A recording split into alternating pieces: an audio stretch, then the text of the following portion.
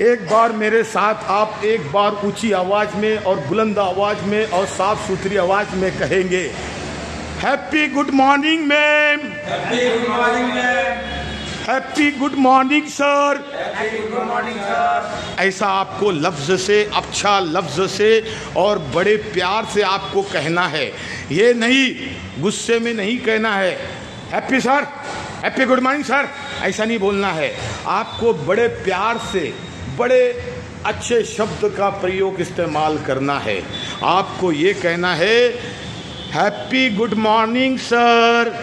बड़े प्यार से, जो स्कूल के बच्चे जब स्कूल में प्रवेश करते हैं तो बड़े प्यार से कहते हैं, उसी तरह से हमको भी प्यार से कहना है।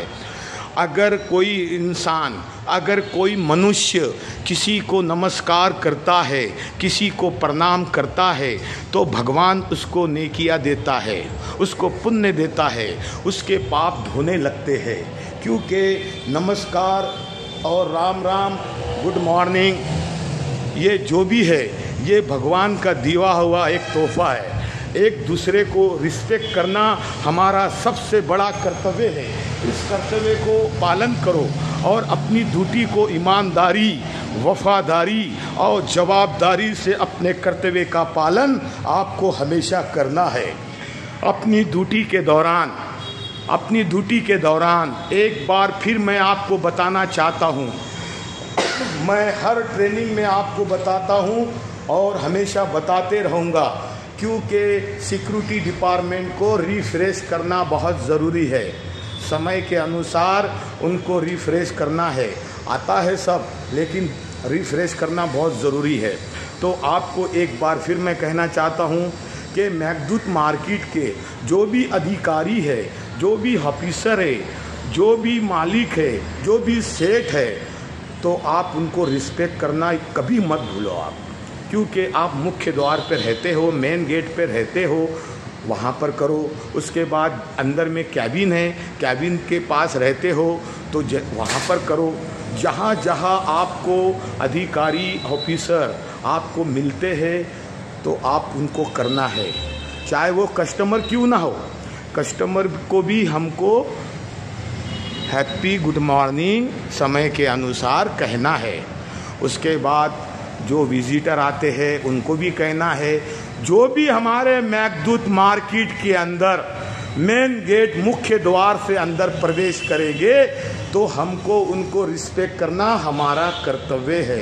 सिक्योरिटी डिपार्टमेंट का बहुत बड़ा महत्व है कि किसी भी अधिकारी को रिस्पेक्ट करना, ये उसका फ़र्ज़ है, ये उसका कर्तव्य है। कभी मत भूलो, हम अपने माँ बाप हमारे माता पिता ने, हमारे बड़े भाई बहनों ने, रिश्तेदारों ने हमको जो सिखाया है, गाँव के अंदर, घर के अंदर, हम पिताजी, माताजी मामा जी काका जी सबको हम नमस्कार करते हैं राम राम करते हैं, गुड मॉर्निंग कहते हैं।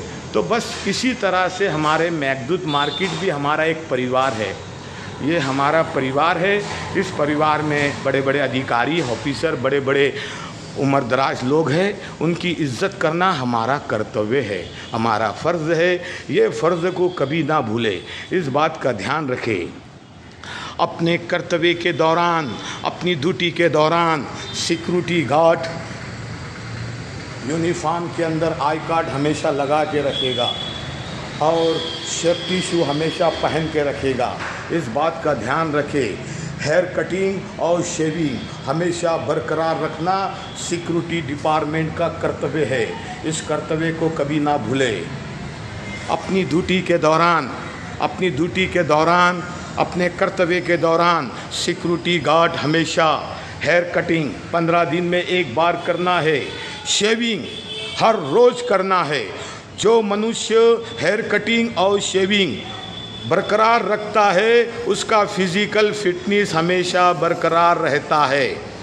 इस बात का ध्यान रखें, इस बात का ख्याल रखें हेयर कटिंग छोटा छोटा रखना शायद के लिए बहुत अच्छी बात है। शेविंग करना जिस्म के चेहरे के लिए बहुत अच्छी बात है, क्योंकि हमारा ड्यूटी है पुलिस की ड्यूटी है हमारी।